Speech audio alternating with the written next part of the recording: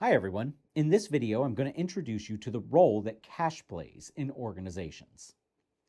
Now, when we think of accounting, and specifically accrual accounting, we tend to push cash aside. We focus on revenue and expense and when to recognize those revenues and expenses, which are the results of obligations fulfilled or costs incurred.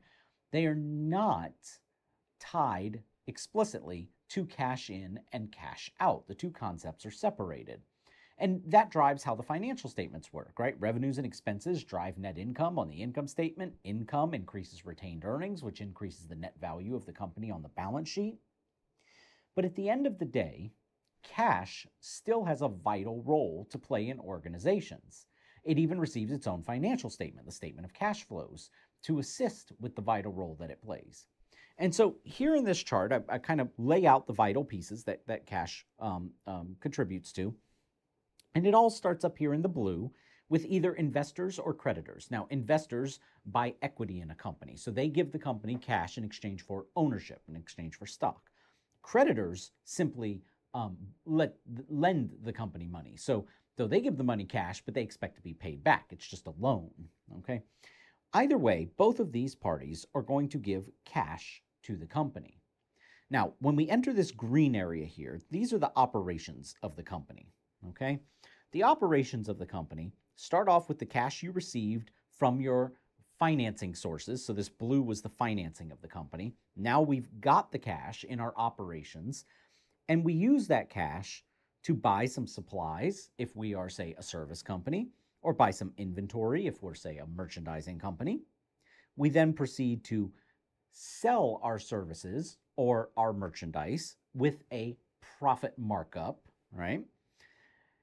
That profit markup, when we collect from our customers, will be a greater amount of cash than the cash we originally invested to buy the supplies or the inventory that was used as part of our operations. And this is what ultimately is going to increase the cash that the company has on hand. So the more cycles you make through this operation cycle, the more your cash should go up, assuming you do have a positive profit margin on the services or products that you provide. Now, once you've kind of built up a, a, good store of cash, you do have some other uses for it beyond simply continuing to fund your operations. One option is you can give some of that cash back to your investors or creditors. If you're giving it back to your investors, that's what's known as a dividend. If you're giving it back to your creditors, you're simply paying off your loan. Another option you have is to use some of that cash for what's called capital investments. These are investing activities where you are essentially growing your business through purchases of PP&E or purchases of other companies, things of that nature.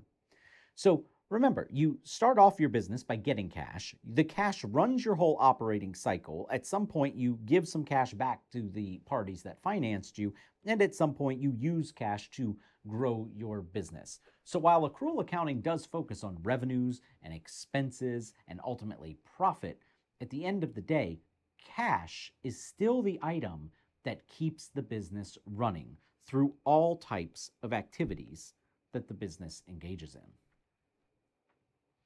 All right, that's it for the role of cash in organizations. Hope you found this helpful, and I hope you join me for another video.